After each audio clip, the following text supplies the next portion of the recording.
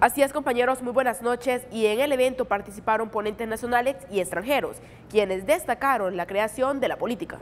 Según el índice Doing Business, El Salvador subió a 22 posiciones hasta ubicarse en el 73 a nivel mundial, algo que para las autoridades es un paso importante. Y eso nos permite ver y analizarnos como país eh, críticamente. Además, el hecho de entender la competitividad de una perspectiva sistémica también es eh, comprender que hay una multiplicidad de actores en el proceso de construcción. Es destacable el, avance reciente en, el índice del Doing Business.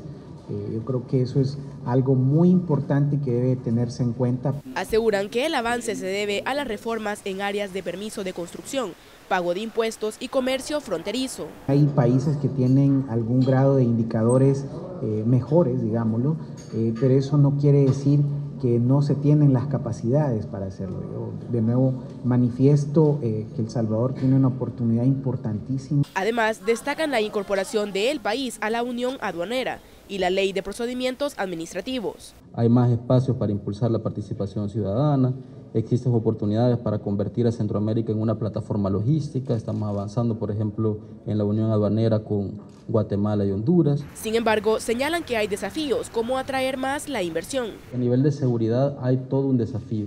Han habido avances y que se reflejan justamente en el informe a través del Plan El Salvador Seguro.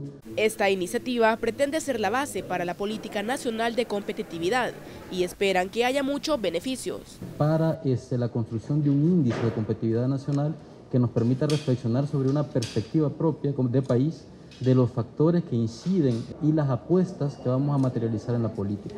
Las autoridades esperan que el gobierno tome en cuenta esta iniciativa con la idea de cambiar el